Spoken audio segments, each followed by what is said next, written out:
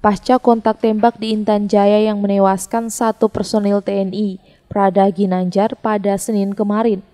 Komandan Kodim 1715 Yahukimo, Letkol Infantri Christian Ireu, langsung bertolak menuju Kabupaten Duga untuk memberikan arahan kepada seluruh personil TNI yang bertugas di Enduga, Papua. Dalam kunjungan tersebut, Dandi menggelar pertemuan dengan prajurit TNI di Koramil, Kenyam, serta menyambangi beberapa satgas yang bertugas di Kabupaten Duga.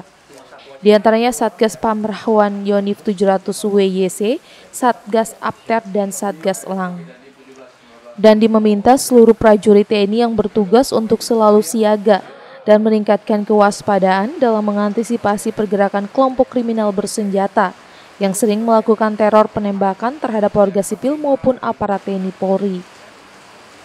Menurutnya, Kabupaten Duga adalah salah satu dari empat daerah rawan KKB di Papua, sehingga seluruh prajurit diharapkan meningkatkan kewaspadaan serta membangun komunikasi yang baik dengan masyarakat setempat sehingga kejadian di Intan Jaya tidak terulang di Kabupaten Duga.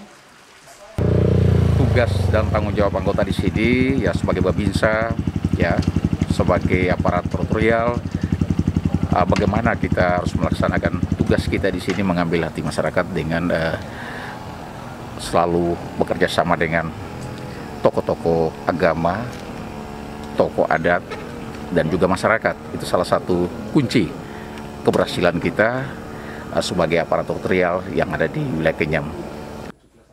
Vindi Rakmeni, Kompas TV, Jayapura, Papua.